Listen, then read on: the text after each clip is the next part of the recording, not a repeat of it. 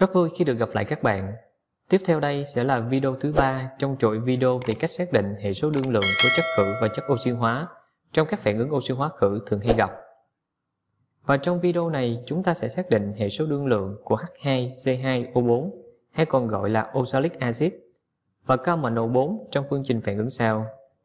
H2C2O4 cộng KMNO4 cộng H2SO4 tạo thành CO2 cộng K2SO4 cộng MnSO4 không nước.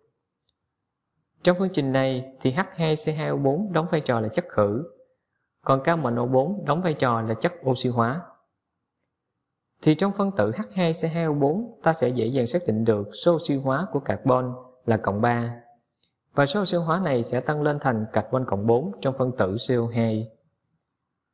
Còn trong phân tử KMNO4 thì số oxy hóa của mangan là cộng 7 và sẽ giảm còn cộng 2 trong hợp chất MnSO4.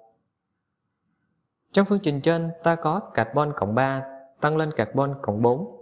Điều đó đồng nghĩa là một nguyên tử carbon cộng 3 sẽ nhường một E để tạo thành carbon cộng 4.